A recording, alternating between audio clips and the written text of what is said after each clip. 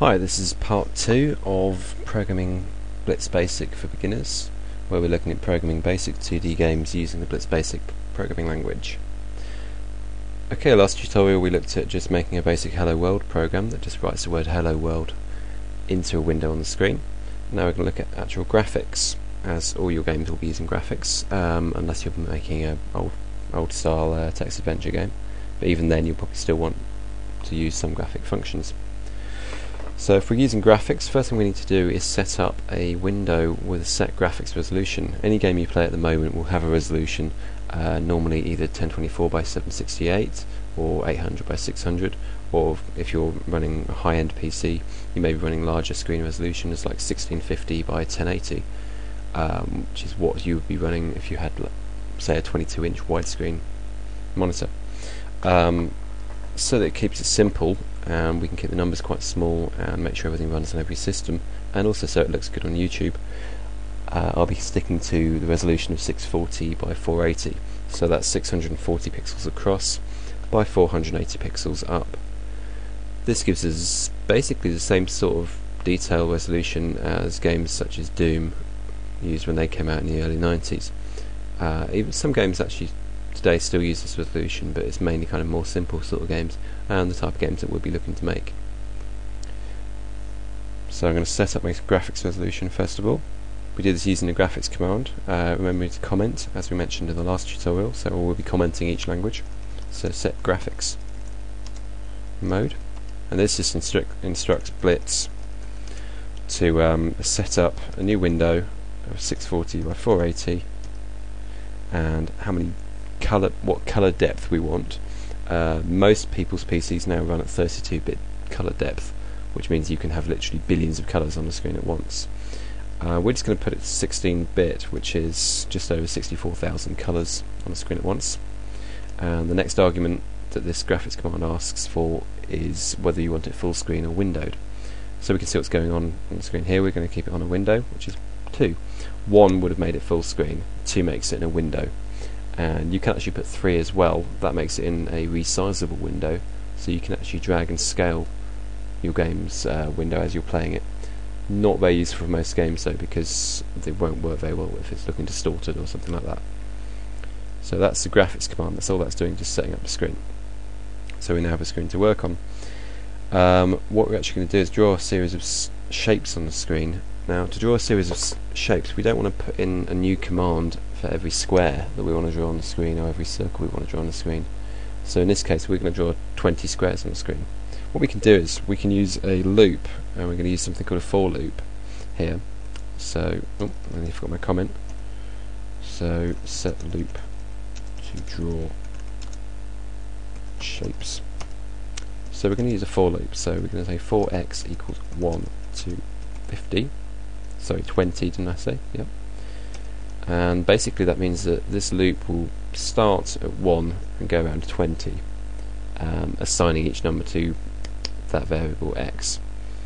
It's just like in maths at school where you have you know x equals y plus 4 or whatever basic algebra.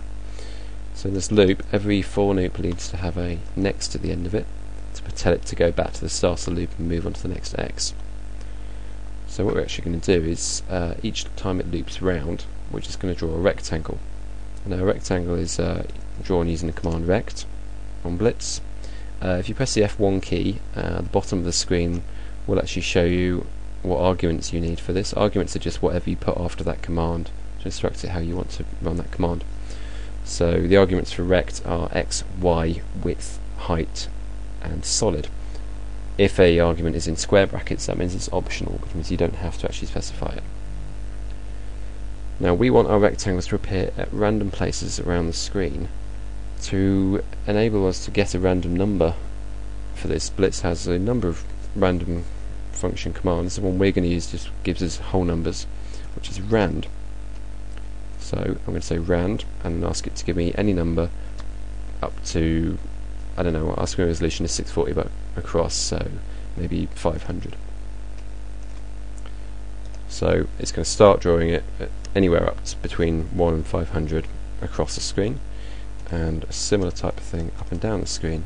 It's 480 up so I'm going to say anywhere between 1 and 400 up the screen and I'll have a width, we'll just have fixed widths, we'll keep it simple, so we'll make it 50 wide and 50 high for each of our rectangles.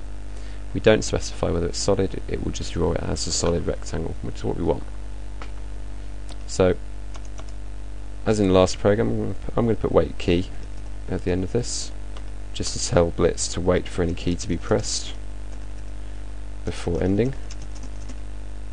Well, before continuing, because we may not be ending it straight after. And I can't spell continuing, obviously. so I'm just going to leave it as wait for any key. Next command is going to be end. That's it, just it to end the program. So when we run this by pressing F5, or you can click on the rocket, we get a new window appear with a series of rectangles appearing in there. They're all over the place because we've made it random, so it's exactly as we want it. So I press any key which will end the program. Now before I move on to the next tutorial we're going to adjust this a bit because the main problem there is you can't tell the squares apart because they're all one colour. So Blitz has a command to specify what colour to draw uh, anything on the screen in, be it text, be it shapes, uh, even if you're clearing the screen with a different colour you can use um, similar command to set that colour. So before it draws each rectangle in this loop we're actually going to use the colour command and we're going to tell it to draw it we're going to use random again because we just want random colours now with the with the color command you specify three arguments for color which is RG or B which is red, green or blue and this can be any value between 0 and 255 white being all values at 255 black would be all values at 0 so I'm going to specify anything between 0 and 255 for each of the commands. So we will get completely random colours being generated. If I just wanted random reds, I would just put rand 255 and then 0 and 0 for the other two commands. But in this case we're just going to do random everything, so this this will just generate any amount of colours. And also, no, no, we'll leave it as that for now. So if we run the program again, what you'll get is, you actually get completely random colours appear on your rectangles. And that's the end of this program. We're going to move on to animation next, on the next tutorial. And in case you didn't check, on the right hand side I will be putting links to any source code used in these tutorials. Obviously it's very simple at the moment, but they will get much larger later on the programs as we're moving into actual playable games. Um, the web link for this will be coffeeinduced.wordpress.com. That's actually my games development blog, so you'll also see posts there for other games I'm developing, as well as all the uh, stuff you need for these Blitz Basic tutorials, as well as any of the more advanced Blitz, Blitz Basic tutorials, which I'll be moving on to later on, which will include 3D graphics as well. Okay, see you, ne- see you at the uh, next video.